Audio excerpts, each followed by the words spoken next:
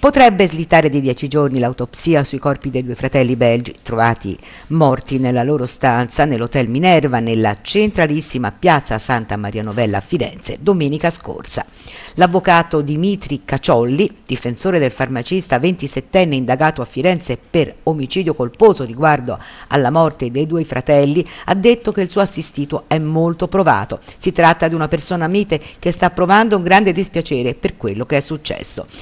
Il farmacista è colui che ha venduto, senza ricetta, due scatole di un potente analgesico a base di oppioidi, l'oxicodone cloridato, ingerito in 42 pasticche insieme a birra e altri alcolici, un mix che avrebbe causato i due decessi, circostanza da stabilire con l'autopsia. Tuttavia la stessa autopsia prevista dal PM Giacomo Pestelli domani potrebbe slittare perché lo stesso avvocato Caciolli ha presentato al GIP una riserva di incidente probatorio a cui eventualmente farà seguito la vera e propria richiesta. Secondo quanto spiegato, se effettuata in incidente probatorio, l'autopsia potrebbe slittare di circa 10 giorni.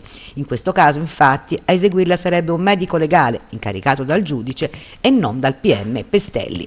Intanto, Secondo quanto si apprende, al farmacista è stato notificato il provvedimento disciplinare di sospensione dal lavoro da parte della proprietà della farmacia, dove il 27enne è dipendente.